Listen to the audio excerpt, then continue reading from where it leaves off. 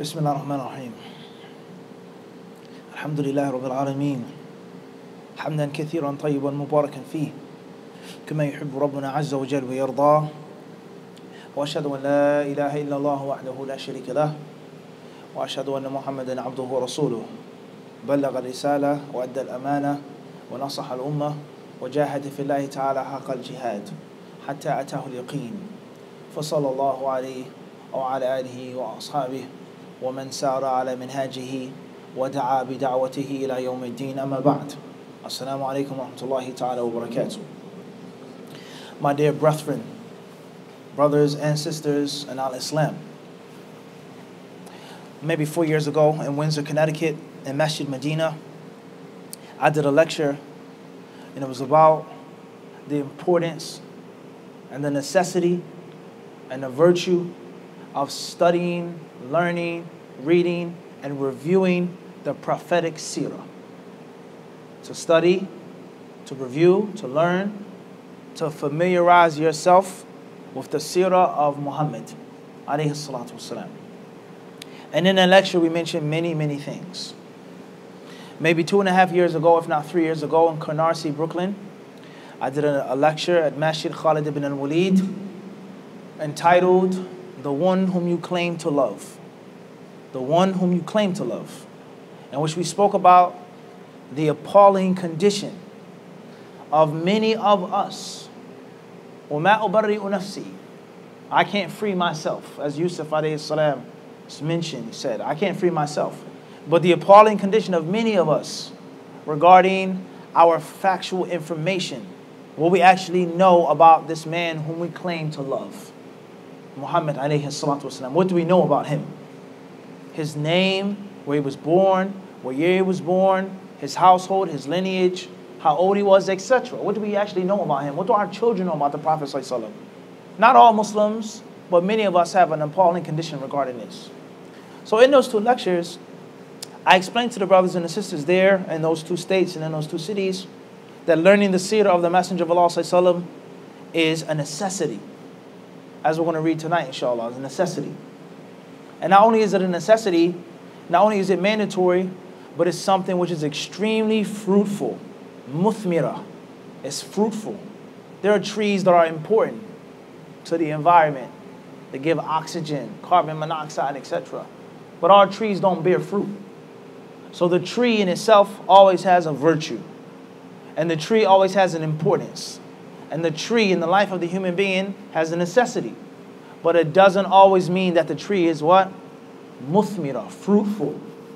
So there's a lemon tree, apple tree, cherry tree, walnut tree, chestnut tree, plum tree, etc. All these different types of trees that provide shade, that give oxygen, trees that help the ecosystem, the balance in the environment, the insects, the birds that live in the tree, on the tree, and the list goes on. And on top of all of that, there are trees that give man, birds and animals, but specifically man, sweet, tasty fruit. And that is the seerah of the Prophet. It's something that you need to breathe. It's oxygen.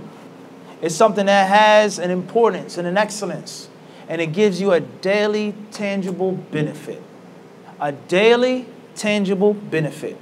And the closest way, the fastest way, the shortest way, bi'idhnillah to Allah and to the abode of His nobility and His honor and His generosity is nothing more than the Prophet.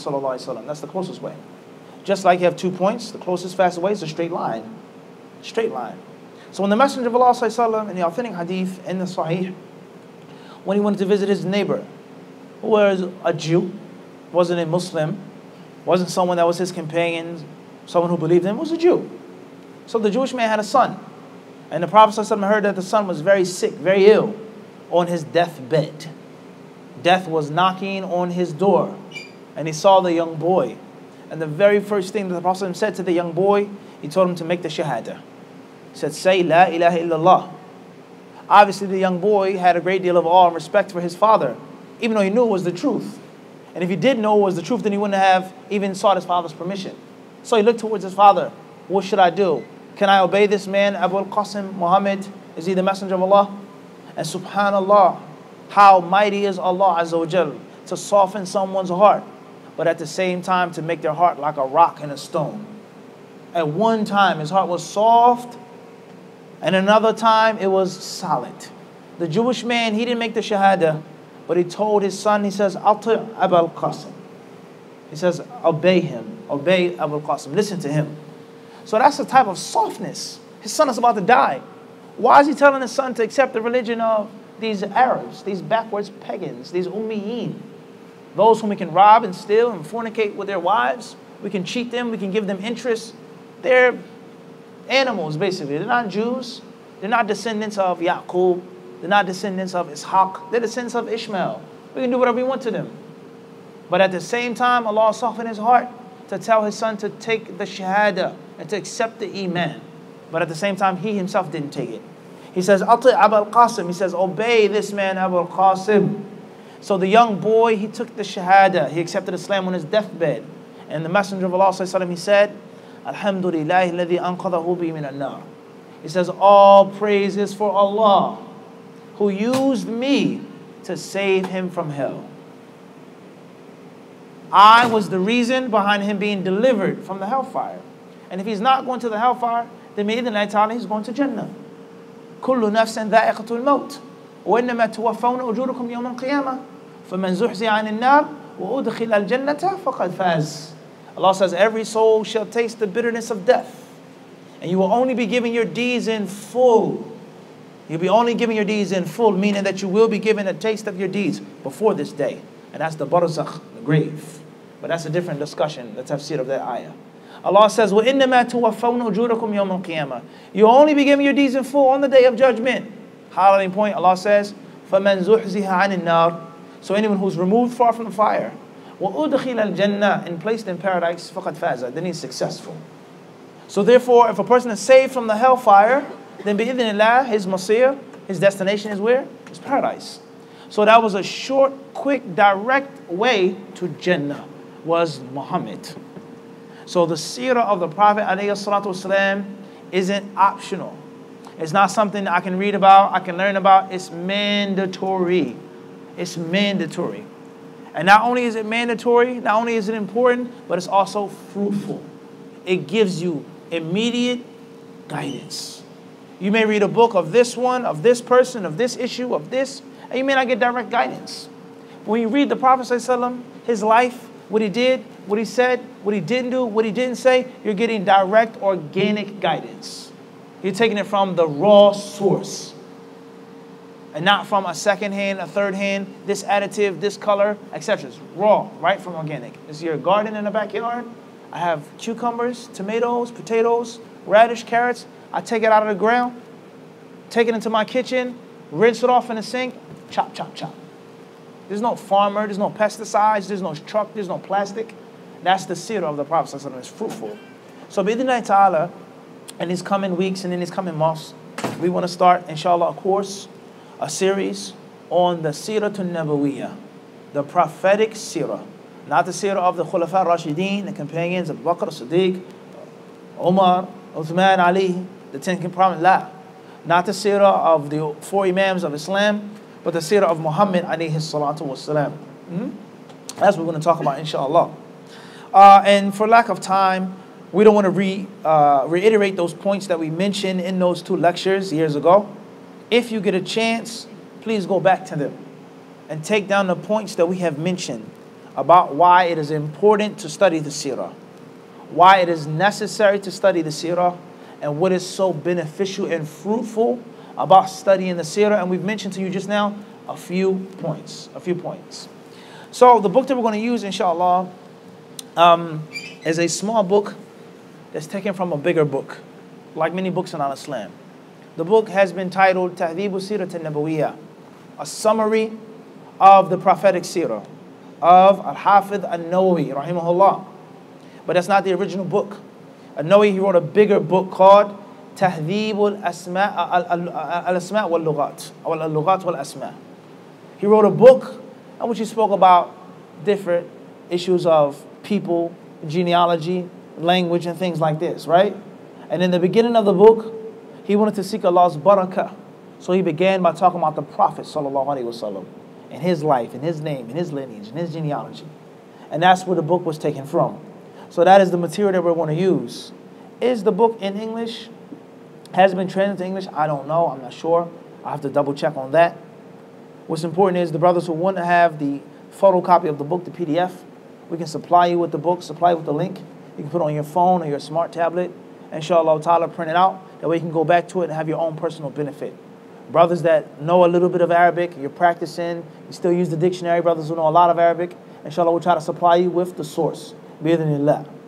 As far as tonight, then we're not going to read from no other place except for my favorite author, and that's Ibn Qayyim, rahimahullah ta'ala. And he wrote an amazing, magnificent book on prophets, on the prophet Sirah. Anyone know what this book is called? Not Stories of the Prophet, La. That's from Ibn Kathir. And that's once more, like I just said, that's a selection from a huge, voluminous book. Al-Bidayah wa Nihaya. Huge, huge, huge book. Tayyib, anyone know what book Ibn Qayyim wrote on Sirah? Now you're going to hit yourselves in the head when I give you the answer. Sealed Nectar. That's not by Ibn Qayyim. That's by contemporary. You know the answer. You're going to be upset with yourself when I tell you. Going once, going twice, sold. Zadul Ma'ad. في هدي خير العباد Zadul Ma'ad, right? I told you what? Alhamdulillah, he said, La hawla wa la quwwata illa billah. Most brothers would just hit themselves. Huh? Zadul Ma'ad. Huh? Provisions for the hereafter. Fi hadi khairil ibad. Concerning the guidance of the best of Allah's slaves. That's the whole book. Ibn Qayyim rahimahullah, he wrote this book, some say when he was making Hajj on the back of a camel from Sham to Hijaz. What library did he have on the back of the camel?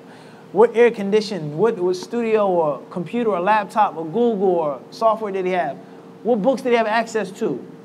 Huh? Meaning that he wrote the book what? We say from the top.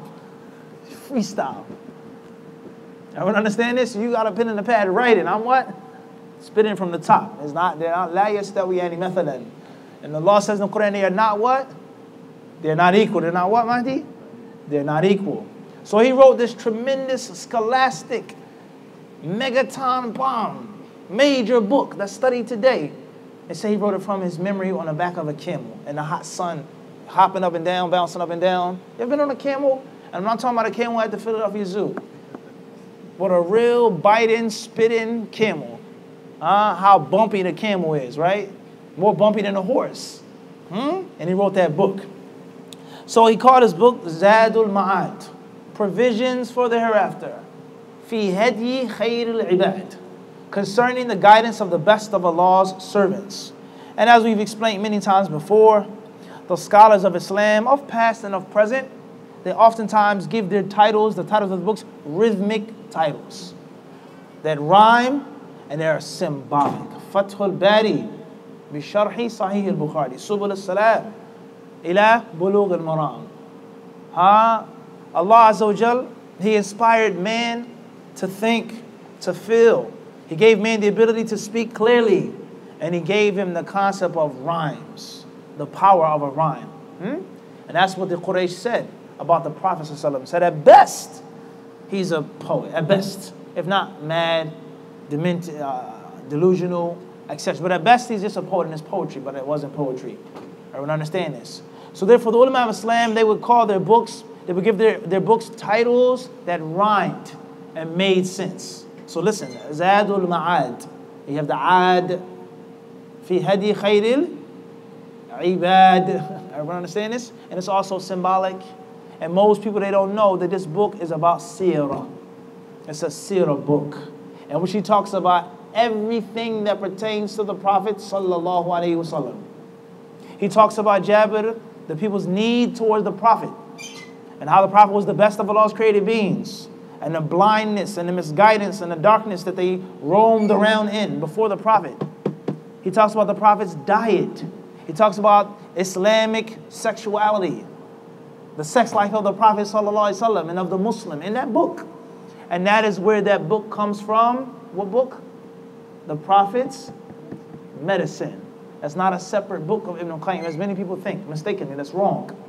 And not only is that inaccurate scientifically, but also misleads you to implementing what you read in that book. That book is nothing more than a slice of a larger pie. The Prophet's guidance concerning prayer, zakah, fasting, hajj, jihad, dawah, and also medicine. And many people they make a mistake regarding that book. Everything in that book in that chapter is not sent down from Allah subhanahu wa ta'ala.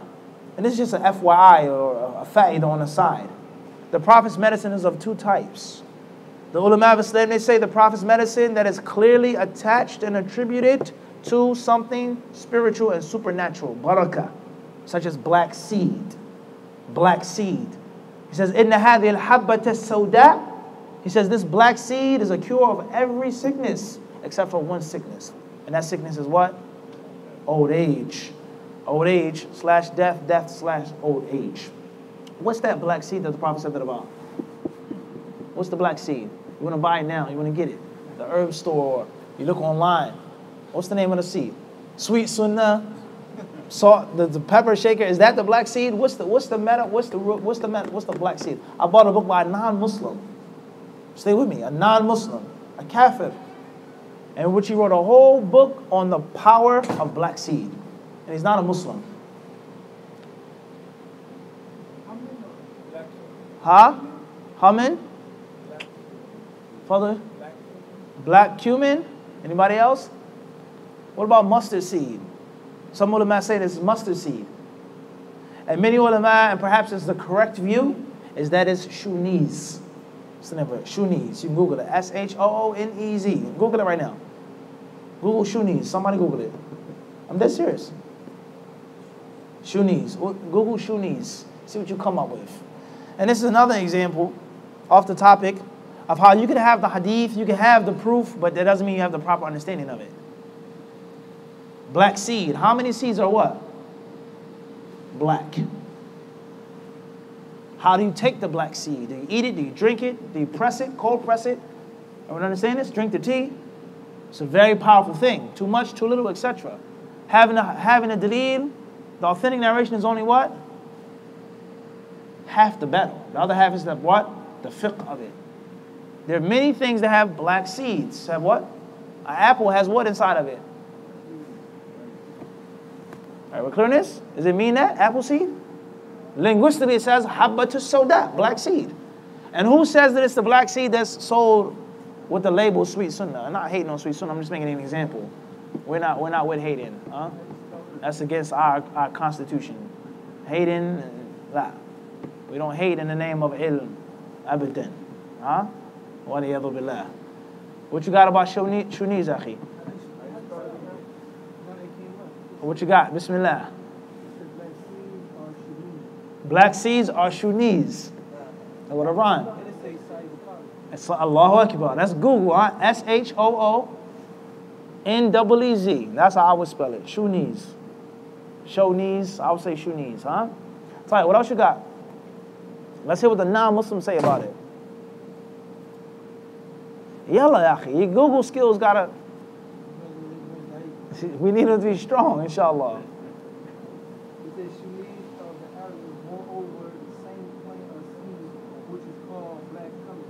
Black cumin, as he mentioned. So we have another name, scientific term, colloquial term. Ah, fadl. Those watching on the live stream can participate as well. What else you got, Yahi? You're being stingy to us. Oh man. Tayyid, al muhim. At the end of the day, the first type of the prophet, the prophet's medicine is the medicine in which the Prophet ﷺ speaks about that is from Allah. And that it has a barakah. And that Allah has sent it down and Allah has placed it, etc. That is the prophet's medicine, which it is the sunnah and a reward for you to take it and to adhere to it. And then the second type of prophetic medicine is that which was known in 7th century Arabia. That which was known in practice in 7th century Arabia. That which they came up with themselves, their own experiences, they got from the Greeks, the Egyptians, the Ethiopians, huh? And the people tried their best And it's not necessarily a sunnah for you to implement this type of prophet's medicine. If you want to do it, do it. And if you want to go to the modern means, a pill, this tonic, this serum, you're open. Everyone understand this? It's something that the prophet did as a human being, as an Arab man in that time and in that place. And this can save you from a lot of confusion. Everyone understand this? Let alone what Ibn Qayyim mentions in that book of things that he brought. And Ibn Qayyim wasn't from Arabia, nor did he live in the 7th century. Everyone understand this or not? Everyone understand this? Everyone clear this or not? So Ibn Qayyim, he added things to the book of his own knowledge, his own deduction and reasoning. He was a scholar of medicine as well. So everything in that book is not directly from the Prophet's authentic spiritual way. We said that as a fa'idah. طيب. So in this book, Zadul Ma'ad, that he wrote, speaking about Sirah, and I don't think the entire book is in English. I know parts are for sure. There's a summarized version of uh, Imam Muhammad ibn Abdul Wahhab in English and also parts of the complete version, but I don't think the whole thing is in English yet. As far as in Arabic, then it's in wide circulation. And as we said, this book is a book about what? Sirah. And there are many books on your shelf that you have that you may not have been properly trained in to know how to fully utilize them. And a tool is only as good as what? You use it. Sword is no value unless it's wielded what? Properly. I would understand this. طيب. Our Sheikh, Sheikh Abdul Muhsin, Hafidullah, in Medina, he would advise the students of knowledge that when they went home to their countries in the summer, or if they stayed in Saudi for the summer, to read this book. To make it their business to read this book. A volume a summer or all of it in one summer, huh? Depending on how many hours out of the day you read as a student of knowledge. And as, as we know, many scholars quote from this book. Ibn Hajar and Fath al-Bari always quotes from it. صنعاني قسم من سبل السلام قال في الهدي قال ابن قيم في الهدي طيب ابن قيم he says فصل ومن ها هنا تعلم اضطرار العباد فوق كل ضرورة إلى معرفة الرسول وما جاء به وتصديقه فيما أخبر به وطاعته فيما أمر. فإنه لا سبيل إلى السعادة والفلاح لا في الدنيا ولا في الآخرة إلا على أيدي الرسل. ولا سبيل إلى معرفة الطيب والخبيث على التفصيل إلا من جهتهم. ولا ينال رضا الله البتة إلا على أيديهم. فالطيب من الأعمال والأقوال والأخلاق ليس إلا هديهم وما جاءوا به. فهم الميزان الراجح الذي على أقوالهم وأعمالهم وأخلاقهم توزن الأقوال والأخلاق والأعمال. وبمتابعتهم يتميز أهل الهدى من أهل الضلال.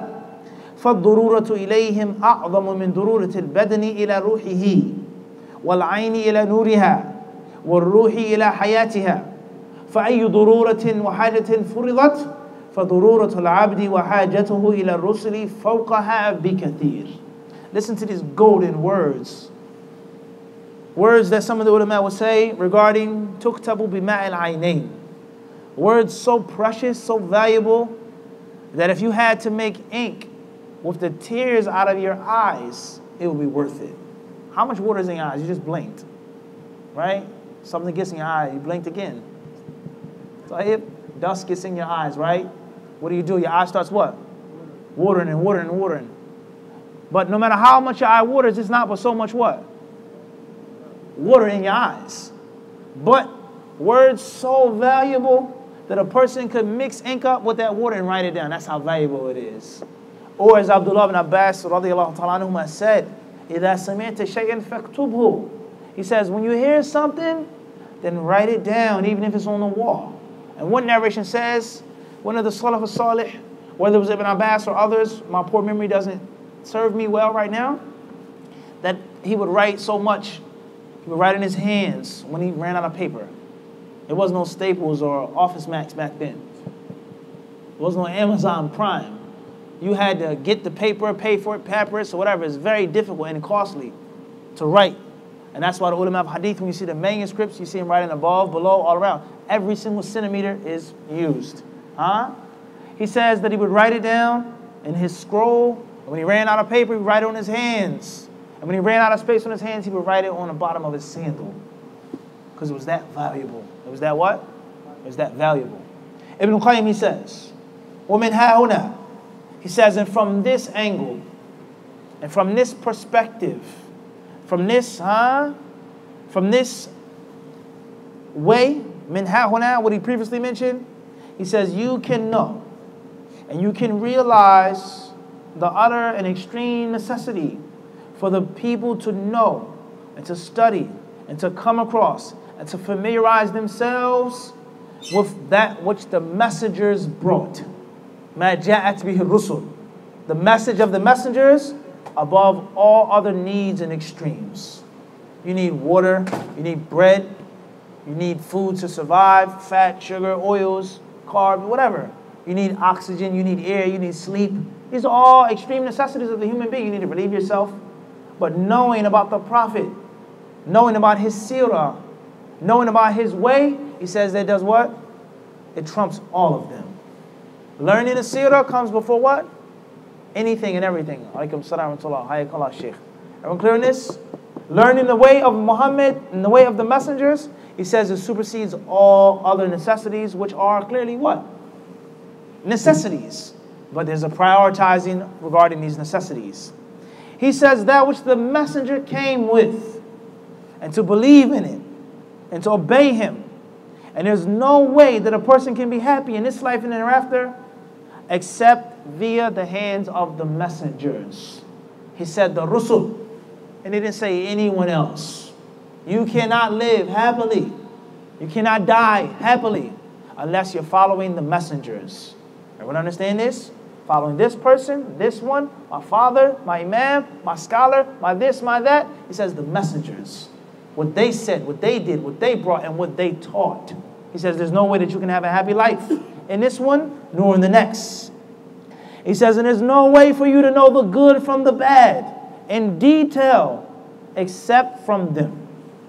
You can understand things in general because Allah has given the human being a fitra, a natural, discerning mechanism to know that this just isn't right. And it does not need an encyclopedia to figure out that this is what? This is wrong. This is not Islam. There's no way that I left Christianity for this. There's no way that I left being an atheist for this. There's no way that I left and I escaped those bullets whizzing past my head. Huh? To do this and to practice. That's impossible. Everyone understand this? That's impossible. And it doesn't take a great detailed knowledge or level of knowledge to understand basic things in Al-Islam. The fitrah, let alone common what? Sense that Allah has given a human being.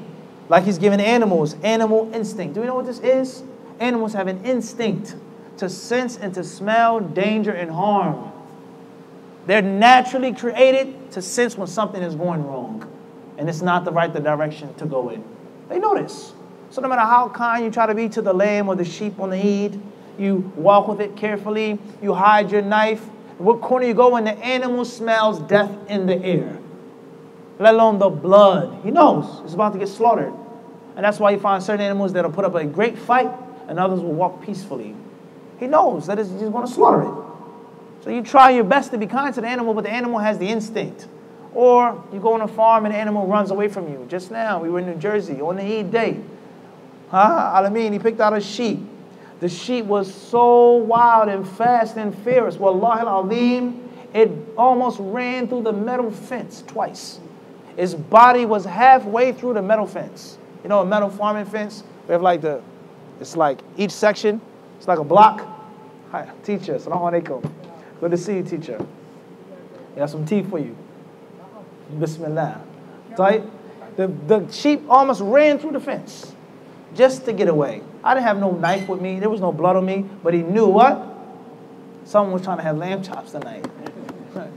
he sensed this. So therefore, he says, is that the only way that you can have things, the knowledge of good and bad in detail, he says, is through the messengers. You can learn things basically through your fitrah and through common sense. But those things that was obeyed are going to be what? In general and not in detail. He says here, and it's no way that a person can obtain Allah's good pleasure except through them. So therefore, the good statement, the good act, the good deed, the good character to have is nothing more than what they did and what they said and how they behaved. Listen to these words. That's the correct way. What the messengers did, that's the way to live and that's the way to die. He says, and everything that a person or the statements and actions of people, character, he says it has to be weighed. It has to be measured on their scale. Is it a good statement? Go to the scale. Is it a good act? Go to the scale. Is this zuhd? Should I not eat meat? Should I be a vegetarian? Should I live a monastic life, not get married? Should I go here? Should I do this? Should I say this? Use the what? The scale. And the scale is a just and accurate scale, precise scale. That is the way to live, and that's the way to die. How do I know that I'm not a failure in life? That I'm living a meaningful life? Because I'm imitating you, or this one, or this athlete, or this musician, or this person, or this whoever he is. Or Muhammad's way. Even the Christians, unfortunately, oftentimes they may understand this better than some Muslims. And that's why you see the bumper stickers what would Jesus do? What would Jesus do? Some of the Christians may understand this better than some of us. What would Jesus do in this situation? What would he what? What would he do in what? They use Jesus' life as a what? A scale. What you say, what you do, let's see what Jesus would have said and what he would have, what he, what he, what he would have done. As an indigenous American once said, he was a chief of a great tribe, Native American, and when the European settlers came upon his land and they made promises and broke those promises and they sold and they traded and they bartered, etc. And he proved himself to be extremely treacherous and raping and plundering and murdering. And finally, trying to justify him taking the land and kicking him off of the land, Christianity. That you're a heathen, you're a pagan, and you must accept this man whose message, whose name is Jesus. You have to accept his way. And as, as long as we're Christians and you're a heathen, an idol worshiper, you have no right to your land or your property or nothing.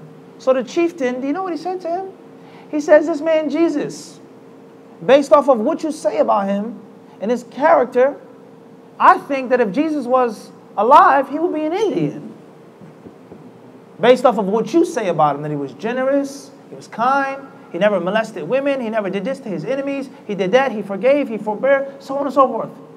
Everything that you say about this man is what is in our culture. No one owns the land. No one owns the mountains or the rivers. It's for everybody. I don't understand this. The point I'm trying to get to is that man, he used that as the scale. No matter what you're saying of Christianity, um, Christianity, and you're right, you have the right to own and possess, he used the what? A scale.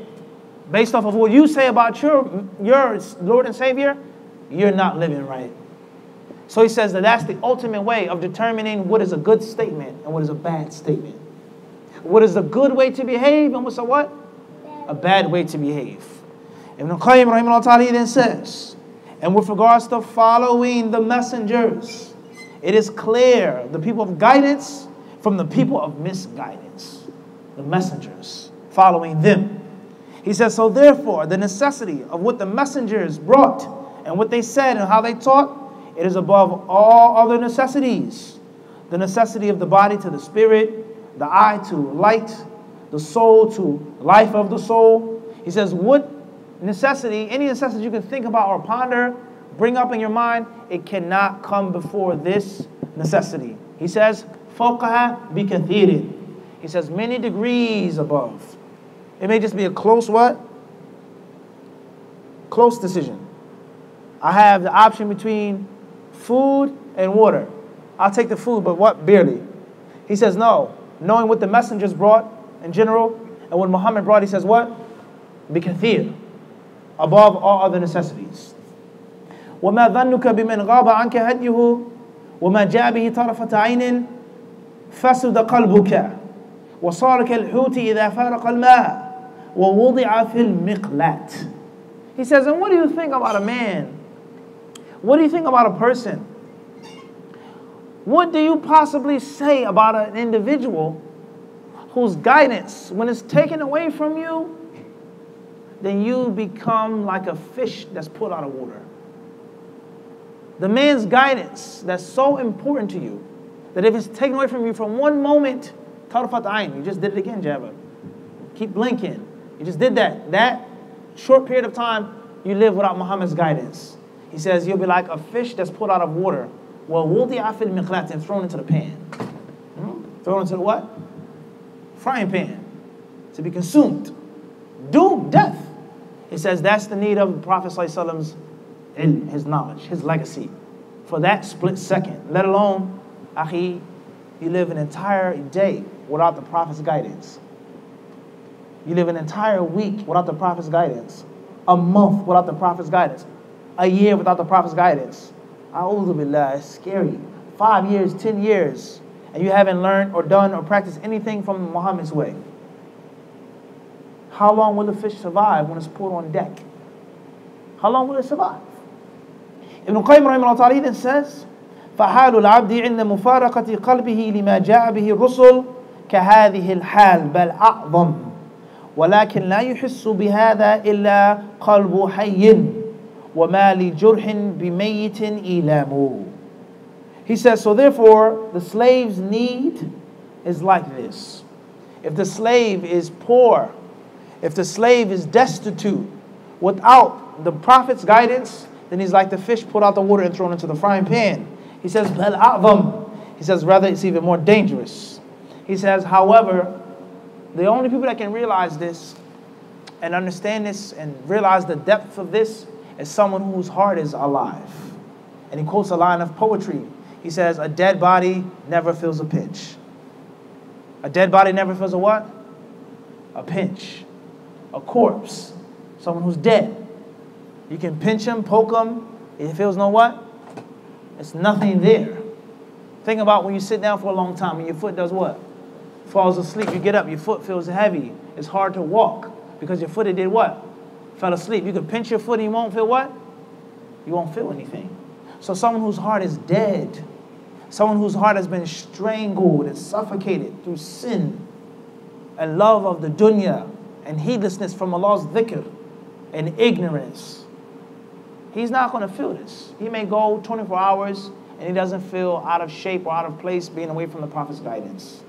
Think about a believer when you miss a salah, if you miss a salat, what salah, billah, how stressed out you are. You feel bad. Oh man, I overslept. SubhanAllah. I missed a day in Ramadan. I made a sin. I made a mistake. I went back to this. You feel bad. Hmm? You feel what? You feel bad. And this is from the wisdom, as some of the ulama of Islam say, why Allah Azza wa Jal decreed upon the Prophet and the companions to oversleep that day for Salat al-Fajr. They were returning home from a battle and they were very tired and they went to sleep.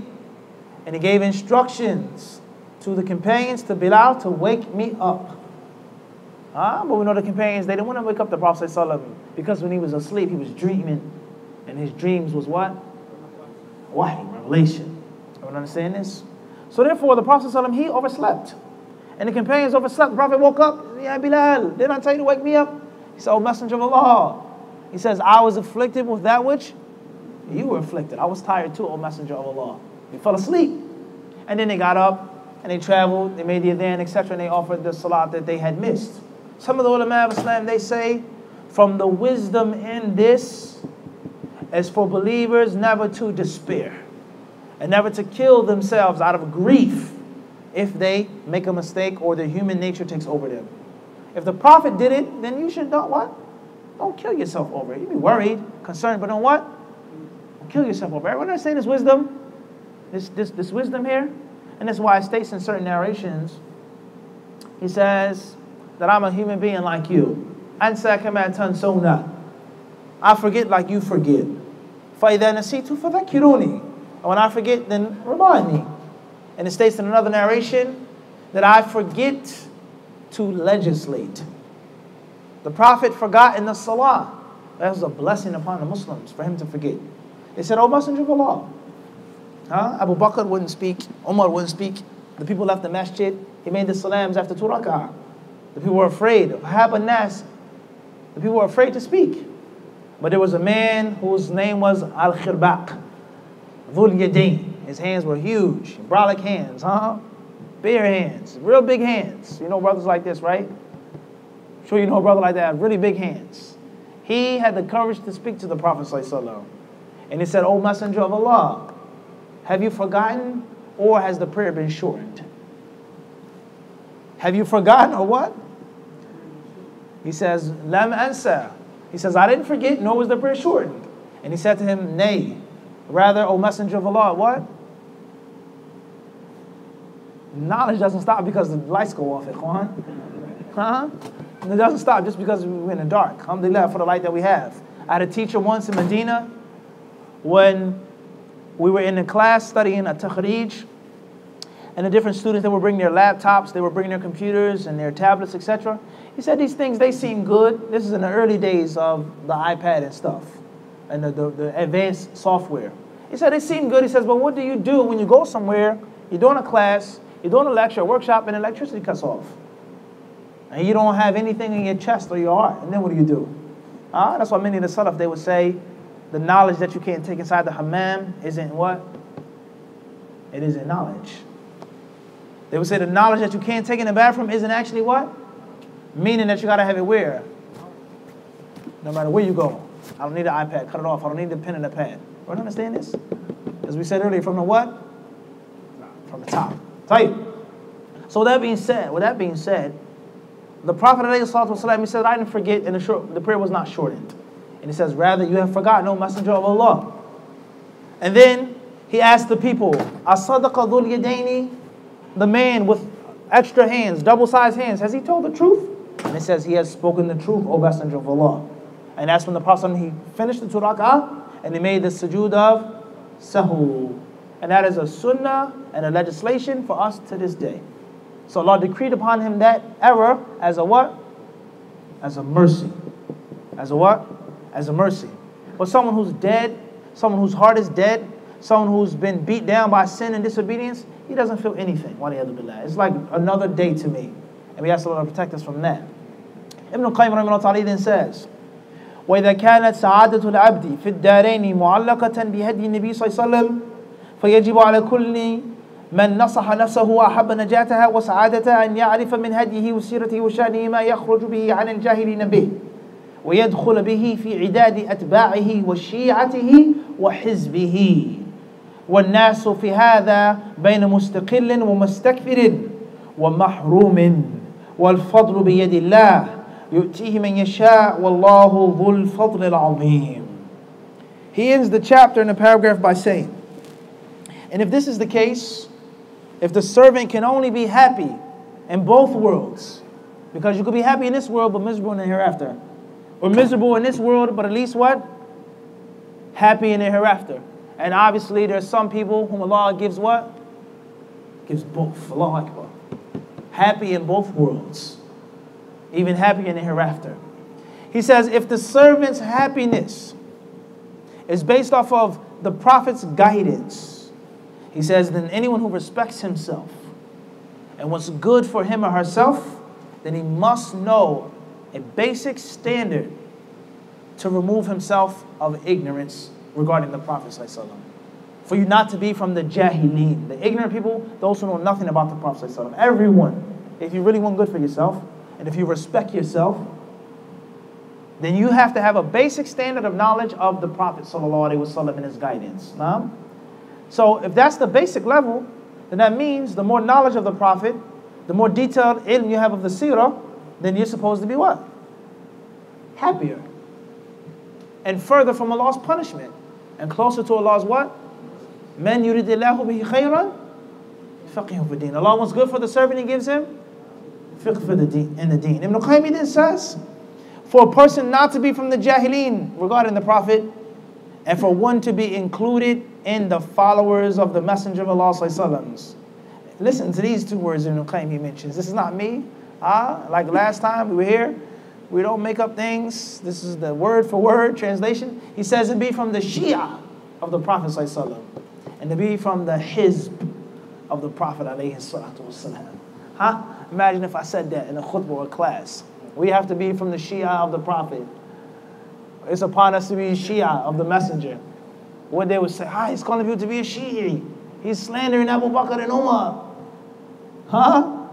And an ignorant fool doesn't even realize that the word Shia is mentioned in the Quran. وَإِنَّ مِن شِيعَتِهِ Huh? What's the verse? Allah says, and indeed from his Shia is who? It's Ibrahim. Meaning from his followers. That's what the word Shi'i linguistically means. A follower, a devoted follower. That's why they call themselves Shia. We are followers, lovers, companions, supporters of Ahlul Bayt. And that's why the proper term of a Shi'i is Rafidi, especially today. That's a term that they don't like. Everyone understand this? They don't, uh, many people, they think that the different groups and the schisms, and they say they think that they call themselves, we call them. No. They call themselves Ahlul Sunnah wal Jama'ah. They call themselves the followers of the Prophet. They call them, you give them the name Shia, Khawarij. That's not what they what? Call themselves. Ignorance. Everyone understand this? They believe that they're, what they're doing is correct. Everyone understand this or not? So what Shia means, a follower, a group, followers, party. So there's an, an honorific title to them. But instead they're Rafidah because they refused. Who did they refuse? They didn't refuse the Prophet. If they refused the Prophet, they wouldn't be called Muslims. Who Sahaba? Who? La. That's on the surface, so you know that's not the answer. It's too easy. La, they refused someone else. That's how they got the name, Rafida. Because the word Rafida, Rafadad. Rafada, to refuse. Who did they refuse? La. Right hand jabber, you know that. La, moving forward. Ibn Qayyim says, from the Shia of the Messenger and from the Messengers his, from his party. Huh? He says, and the people regarding this, this is the last sentence, he says, the people regarding this issue are one of three. So before I translate this, I want you to ask yourself, which of the three are you? Which of the three am I? He says, mustaqillin ومستكثر ومحروم. People that only do a little, people that have an abundance, and people that are totally deprived. Totally deprived, unlucky, left out. Mustaqil. I know a little bit about the Prophet Sirah. Muhammad ibn Abdullah, uh, Abdul Muttalib. He was born in this year, the year of the elephant kada wa kada, skimming on the surface because you only read a little bit. And in the lectures that you listen to, if you listen to a lecture three hours a day, two hours and 30 minutes is about something else. In most cases, subhanAllah, the lectures, in most cases that you listen to about someone else's life, besides Muhammad. And then you wonder why you don't know much about his what? About his life. And those lectures, as we've read, could be what? Important. And this person's life could be a benefit. But the durura, the necessity is what? He says what? Way above. Everyone understand these words? You understand these words? So he says, so those who only read and listen and learn a little bit about the seerah, mustaqil. And then there's the opposite, mustakthir. All of the day, three hours, five hours, I listen to lectures on YouTube or on podcasts, driving to work, on the train, riding my bike, jogging, whatever I do. I'm listening about the seerah, seerah, seerah, seerah. Prophet's life, Uhud, Badr, Ahzab, Hudaybiyah, Fled, Fled, seerah, seerah, seerah, seerah, seerah. I have a problem with my wife in the household, seerah. With my children, seerah. At the masjid, seerah. My neighbors, seerah. Muslims being minorities, seerah. Hmm? And then last but not least, what the billah, you have the good, the bad, and the what? The ugly. That's right. Souls mahrum. They have no knowledge of the Prophet or the other billah whatsoever. That's sad. May Allah protect us from being like that. Ibn Qayyim concludes this by saying, and the bounty is in the hands of Allah Azza wa Jal. He gives it to whom He wills, to whom He pleases. And this goes to show you the ugliness of an envious person. As the ulama of Islam say, someone who's ugly, who's envious, a green-eyed monster, as we say, the worst things that he has to deal with is that he's displeased and angry with Allah. It has nothing to do with you. His sickness is deeper than that. Allah chose this individual for this virtue. And you hate that person, and you envy him, and you're jealous. In actuality, you're displeased with what? what? what Allah gave. Allah's bounty is in His hand and He gives it to what? And this is what prevented the Quraysh from accepting Islam. أهؤلاء من الله علينا من أهؤلاء he says أهؤلاء من الله عليهم من بيننا Allah says these individuals Allah blessed them without us this is what they said about this companion and that companion Bilal radiallahu anhu and Ibn Abi Maktoum and Ammar and so on and so forth everyone understand this it said these about the companions this servant this peasant this one that one and we are the nobles of Quraysh. And He gave them Iman and not us. They were displeased with Allah's qadr. Alaysallahu. Allah says, Does Allah not know who's grateful from those who are ungrateful? So the bounty is in the hand of Allah, and He gives it to whomever He pleases. Wallahu dhul fadl azim. And Allah is the possessor of limitless bounty. Inshallah ta'ala, our next class, it will be announced. Bi'idhna ta'ala when it will be and we will actually begin the book and actually roll up our sleeves, inshallah, and get busy with the seerah of the Prophet والسلام, and the benefits that we can take therefrom. I thank everyone for listening, for watching, for being attentive and participating, for your respect and good thoughts of us. Jazakumullahu khairan. May Allah give you both the reward and the tangible knowledge. And Allah surely knows best. I don't know if we have time for questions after the adhan. Bidnai ta'ala. Uh, let's see how that goes, inshallah ta'ala. Those who are online, if they want to hold on until after the adhan, inshallah ta'ala, we'll see how that works. Jazakumullahu khairan.